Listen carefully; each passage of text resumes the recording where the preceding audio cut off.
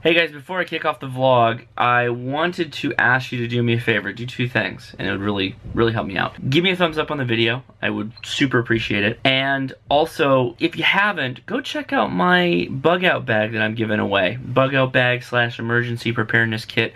I'm going to send you the innards of the bag, and you can put it in your own backpack, and you can use it however you'd like to use it. So go check that out, because I'm giving it away. I'm going to post the video on Friday. So you got a couple days here to make it uh, onto the uh, onto the giveaway. So make sure you do that. Okay, thanks a lot.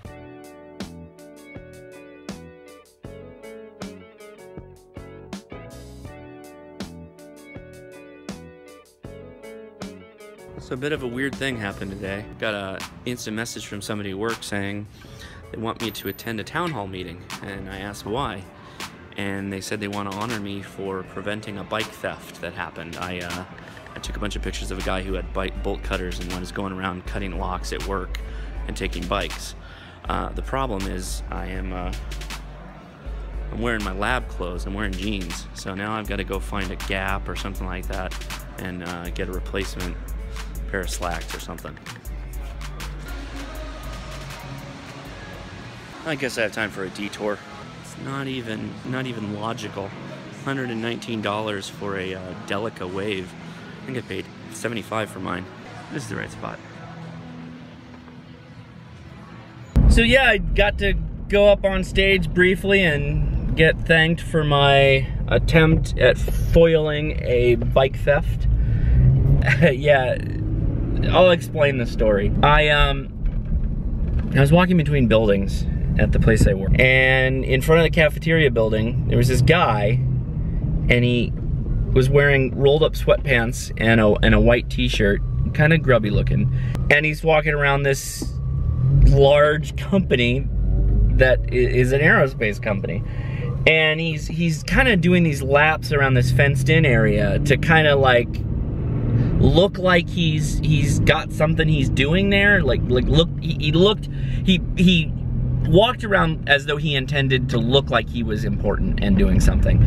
And as I got closer to him, as he had made a couple more passes around this fenced in area, I realized he had the a, a bolt cutters, bolt cutters kind of held in the crook of his arm up against his body. And so my red flags went off big time.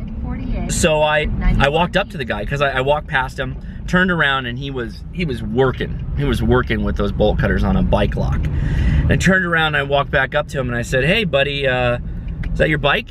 And he goes, oh yeah, yeah, like forgot my key, forgot my key, just trying to unlock my bike. And it was at that time that, you know, I put two and two together and I realized it was a combination lock he was cutting. There was no key. There's no key for a combination lock.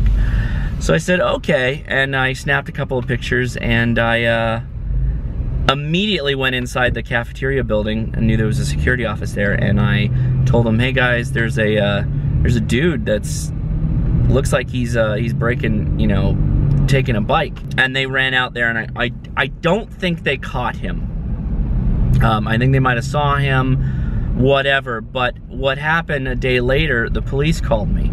The, Redondo, the Redondo Beach police called me and they had me out a report. So I don't know. I don't know what happened. But anyway, I guess it made rounds with some of the management and they had me come up on stage and said thanks for being vigilant. I obviously wasn't going to fight the guy or get into an altercation because I probably would have gotten fired. Uh, nobody wants to get sued, you know. Uh, large companies hate getting sued. So glad uh, glad it didn't come to that.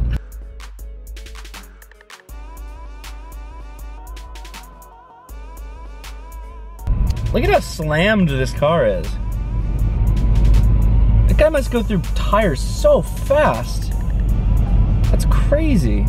So one of the issues I had with the BioLite stove is that its top, the part where you, the heat comes out, it didn't come with the little wire basket to uh, to put non-standard kettles on it. So it made balancing kind of difficult for my uh, my brew kettle. So that led me to order this guy. This thing is huge. I had no idea it was so big. I had no idea this thing was this big. My god. So this brew kettle apparently is for everyone and their mothers.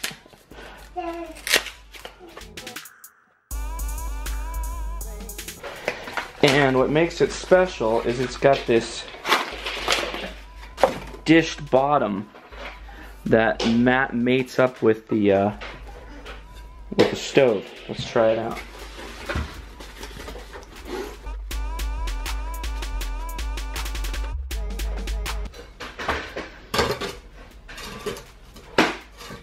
So something like that. So you can brew and it or cook and it stays on top. Okay, there's a cup down here. Some instruccionados. So anyway, cup goes in the bottom. Fold your stove back down. Stove goes into the cup. Cup lid goes on there. And this is the new bag for the stove. It's huge and it's heavy, but it's perfect for my car bag.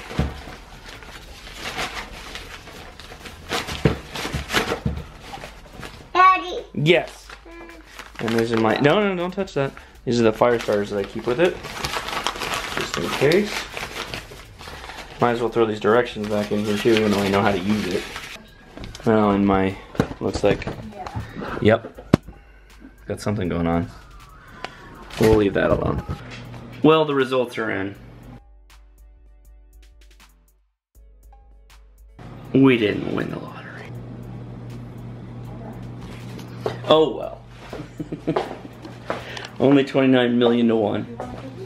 Combination question of the day and WTF Thursday. What do you think of this Trisha Farrell out of San Diego who went up to the house during Halloween and stole 50 some full size candy bars? Stole is, I think, the right usage of the word in this case. The owners of the house put up a sign that said, Help yourself but be considerate, and Farrell went in and with her, I guess, another kid. Uh, they took 50 something candy bars. And the, the roommates, the people who own slash rent the house, they put up a security camera to, to watch to see what would happen if they did this thing, left it out, and said be considerate. And uh, they thought it would be an interesting social experiment. Turns out it was, and the video has since gone super viral. And Farrell uh, doubling down, which is always my favorite internet trait, right? People people don't really double down on you in in person. It's only on the internet that you can almost guarantee that they're gonna double down on you, and she did she replied uh, to all the backlash on Facebook, I love my haters, dot, dot, dot. Keep doing what you're doing, and I'm a, I am M-A, keep doing me. it's classic. So, what do you think? Uh, post in the comments, give me a hashtag, question of the day, and let me know. Alright guys, uh, I'll talk to you tomorrow.